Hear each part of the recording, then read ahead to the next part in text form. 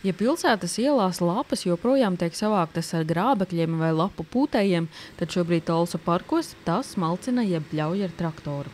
Parks 1. māja ielā jau pabeigts, un šodien lapas tiek smalcinātas Talsu dendroloģiskā parka apkārtnē.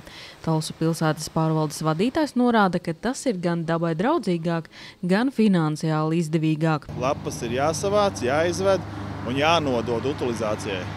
Bet šeit uzņēmējs ir atnācis palīdzēt mums tādā pilotu projektā. Mēs maksājam tikai par lapu samalšanu un pie reizes arī zāles nopļaušanu. Divi vienā mums sanāk par to pašu naudu. Šis talsiem ir izmēģinājums, un šobrīd plānots, ka smalcināšana notiks divas vai trīs reizes, taču tik un tā izmaksas būs vismaz piecas reizes mazākas, to redzēšot pēc pilota projekta beigām.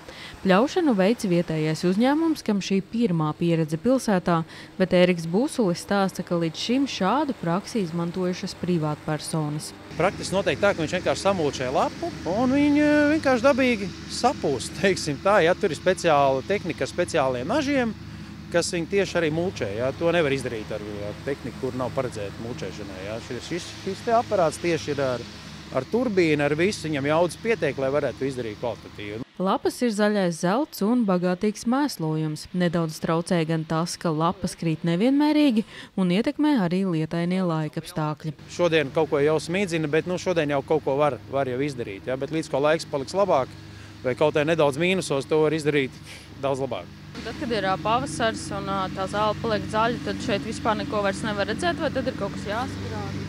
neko nevar redzēt vairāk. Izaugs zālē cauri ar nākamo pļāvēju, kur mums ir cits, cits pļāvējs, kurš met uz sānu. Viņa vienkārši aizmetīs tālumā, ja, un, un pēc kaut kādām trijām dienām saulē viss vienkārši izkalst. Un, Nākamajā reizē, kad pļauj jau kaut kur māja otrā pusē, viss ir zaļš, viss ir vienādi.